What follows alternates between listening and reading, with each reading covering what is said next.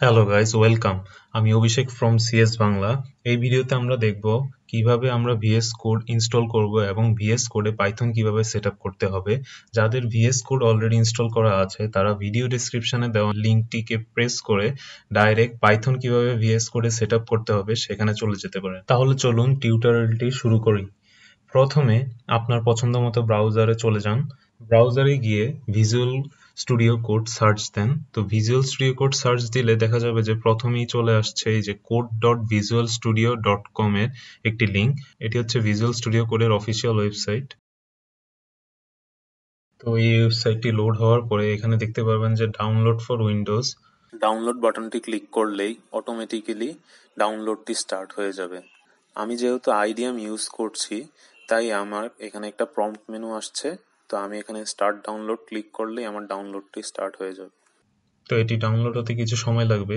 ডাউনলোডটি সম্পূর্ণ হওয়ার পর আবার ভিডিওটি শুরু করছি। আমার পিসিতে ভিএস কোডের এক্সিকিউটেবল ফাইলটি ডাউনলোড সম্পূর্ণ হয়ে গিয়েছে। এখন এটাকে ডাবল ক্লিক করে ইনস্টল করব।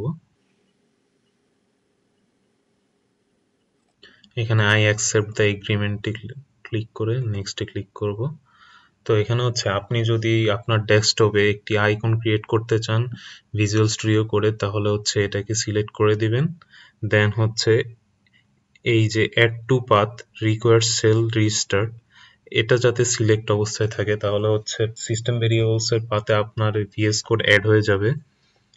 তারপর হচ্ছে add open code action to Windows Explorer directory context menu register code as an editor for supported file types তো এগুলো সবগুলোই আমরা সিলেক্ট করব দেন নেক্সটে ক্লিক করব। তারপর হচ্ছে আমরা ইনস্টলে ক্লিক করব।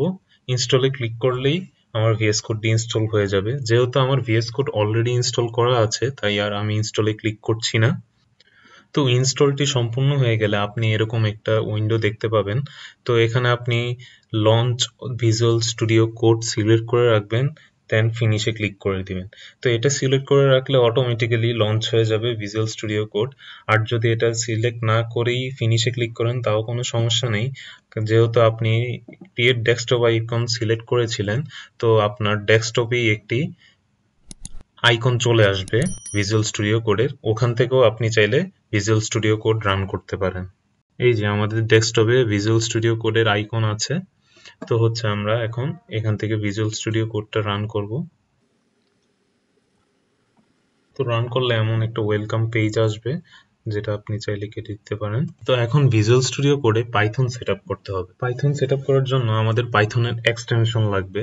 তো এটা হচ্ছে এই যে এক্সটেনশন আইকন এখানে ক্লিক করে পাইথন লিখে সার্চ দিব।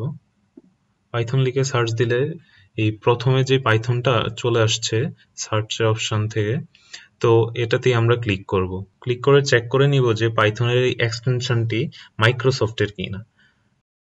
তারপর হচ্ছে আমরা ইনস্টল বাটনে ক্লিক করব। এটা ইনস্টল হতে কিছুটা সময় লাগবে। এটা নেট কানেকশনের উপর ডিপেন্ড করে। এটা ইনস্টল করার সময় অবশ্যই আপনার নেট কানেক্টেড থাকতে হবে। আমার ভিজুয়াল স্টুডিও কোডে পাইথন সফলভাবে ইনস্টল হয়ে গেছে। তো এখন হচ্ছে আমরা পাইথনের একটি প্রোগ্রাম রান করব ভিজুয়াল স্টুডিও কোডে ফার্স্টে প্রোগ্রাম ক্রিয়েট করতে হবে, সেজন্য একটা নিউ ফাইল ক্রিয়েট করতে হবে। ওপেন ফোল্ডারে ক্লিক করব। ওপেন ফোল্ডারে ক্লিক করে এখানে একটি নতুন ফোল্ডার খুলে নেই, যেখানে আমার পাইথনের ফাইলটি থাকবে। ফোল্ডারের নাম দিলাম আমি পাইথন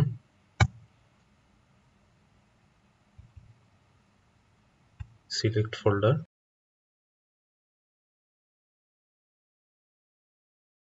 তো এই ট্যাবগুলো আসলে কেটে দিব। তো এই যে পাইথন ফোল্ডারটিতে এখন আমি একটি ফাইল ক্রিয়েট করব।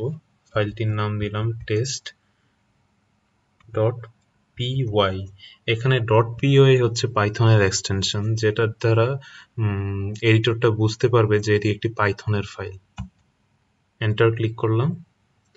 তো এখন হচ্ছে আমি হ্যালো প্রিন্ট দিব। তো প্রিন্ট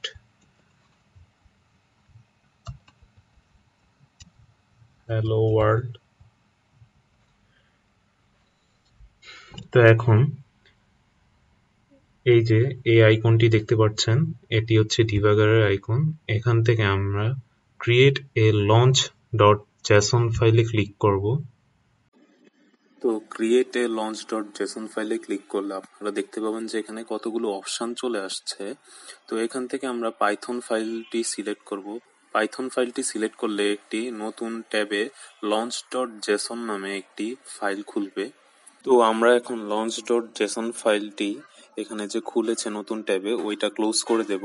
তারপর হচ্ছে আগের যেই টেস্ট ডট পি ওয়াই নামে প্রোগ্রামটি আমরা ক্রিয়েট করেছিলাম, ওইটাকে রান করব।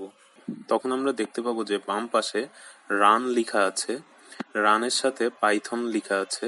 তো এইখানে যে প্লে বাটনটির মতো একটি বাটন আছে, তো ওইটাতে ক্লিক করলে আমাদের প্রোগ্রামটি এক্সিকিউট হবে। এক্সিকিউট হওয়ার পর আমরা দেখতে পাচ্ছি যে এই যে হ্যালো ওয়ার্ল্ডটি প্রিন্ট হয়ে গেছে টার্মিনালে তো আজকের ভিডিও এতটুকুই, দেখা হবে পরের ভিডিওতে ভিডিওটি দেখার জন্য ধন্যবাদ। ভিডিওটি ভালো লেগে থাকলে লাইক দিন শেয়ার করুন, এবং চ্যানেলটি অবশ্যই সাবস্ক্রাইব করুন, যাতে নতুন আপডেট পান আপনি।